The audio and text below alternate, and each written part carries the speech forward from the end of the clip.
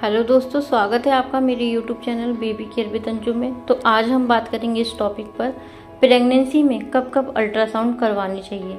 तो चलिए वीडियो में बने रहें। उससे पहले अगर आप मेरे चैनल पर पहली बार आए हैं तो आप मेरे channel baby care with Anjum को सब्सक्राइब कर लें, ताकि इस तरह की वीडियो का नोटिफिकेशन आपको मिलता रहे। अगर वीडियो इन्फॉर्मेटिव लगे तो वीडियो को लाइक कर सकते हैं। कोई भी सवाल हो तो आप कमेंट कर सकते हैं।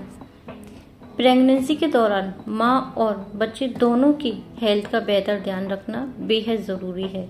ऐसे में प्रेगनेंसी के दौरान समय समय पर महिला के गर्भ का अल्ट्रासाउंड किया जाता है।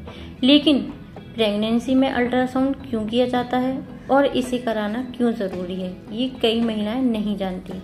इतना ही नहीं, कुछ महिलाएँ तो प्रेगनेंसी के दौरान होने वाली इन स्कैनिंग को लेकर डरती भी हैं। कि कहीं इसका बुरा असर उनके भूड़ पर ना पड़े। अल्ट्रासाउंड के दौरान महिलाओं के गर्भ में पल रहे शिशु की स्थिति का आंकलन किया जाता है ताकि शिशु के स्वास्थ्य की सही जानकारी मिल सके। तो चलिए जानते हैं प्रेगनेंसी में कौन कौन से महीने में अल्ट्रासाउंड करवाना चाहिए।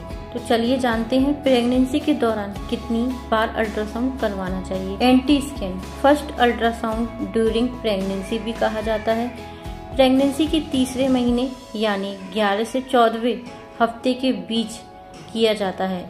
इस अल्ट्रासाउंड से बच्चे की गर्दन के पीछे न्यूकल फोल्ड की मोटाई को मापा जाता है। यह डाउन सिंड्रोम और अन्य जेनेटिक स्थितियों के जोखिम का आकलन करने में मदद करता है। यह बच्चे के मेंटली और फिजिकली डेवलपमेंट के बारे में शुरुआती जानकारी देने का भी काम करता है। Anomaly scan. प्रेगनेंसी के पाँचवें महीने या 18 से 22वें हफ़्ते के बीच स्कैन किया जाता है।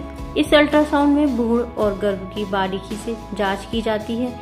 ये अल्ट्रासाउंड महिला के गर्भ में किसी भी तरह की प्रॉब्लम्स का पता लगाने के लिए बच्चे की शारीरिक रक्षा की जाँच करते हैं। ये स्कैन शिशु की दिल, दिमाग, रीढ़ और अन्य अंगों के विकास की जाँच करता है।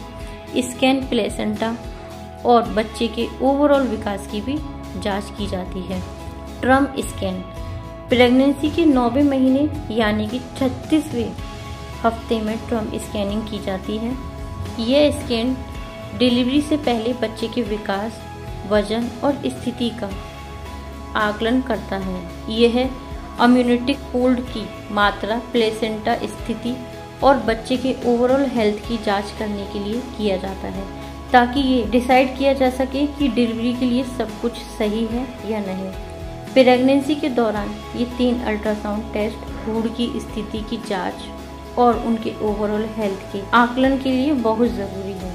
आई होप जानकारी पसंद आई होगी। Thank you